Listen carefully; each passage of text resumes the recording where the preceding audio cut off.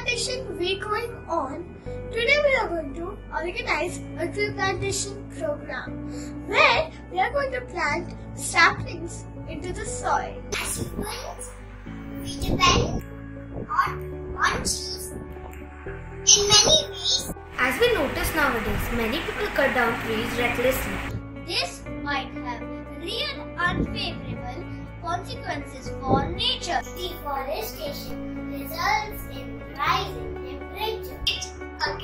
causes greenhouse effect and global warming. Moreover, if we plant trees, it will make our surrounding area more cooler. Planting trees, we are engaging in a duty to conserve our environment.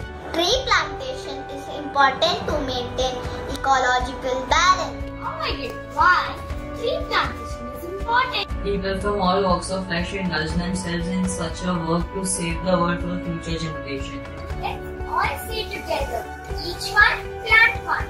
This week is celebrated as the Van Mahotsav Week, which is an annual week celebrated in India as a tree plantation festival. The year 2020 marks 150th year of its celebration.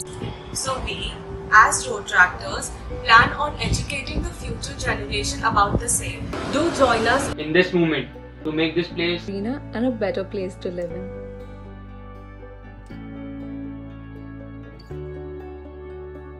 you